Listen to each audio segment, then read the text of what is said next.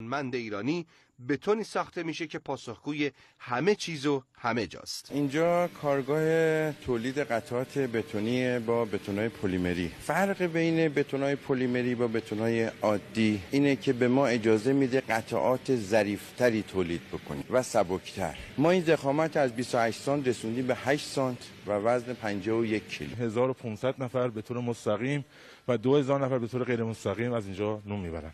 این بتون در شهرک صنعتی شهرستان زرندیه تولید میشه که در صنایع وزارت دفاع، کشاورزی، راه و شهرسازی، شرکت آب، برق، مخابرات، شهرداری ها کاربرد داره. که می‌تونه به جای دریچه‌های چدنی استفاده بشه. این دانش ما می‌تونه حداقل 8000 میلیارد تومان صرفه‌جویی ایجاد بکنه.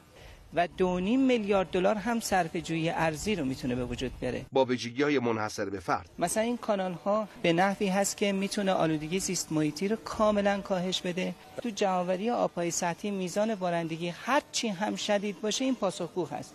حتی تریلی هم با بارش رو این بیاد به هیچ عنوان اینا تخریب نمیشن. در دنیا ما رقیب نداریم. تو بحث اقتصاد مقاومتی این صنعت می‌تونه به عنوان یک شرکت مادر تخصصی در خدمت کلیه بخشا باشه. حسین وفایی فرد خبرگزاری صدا و سیما زرندیه.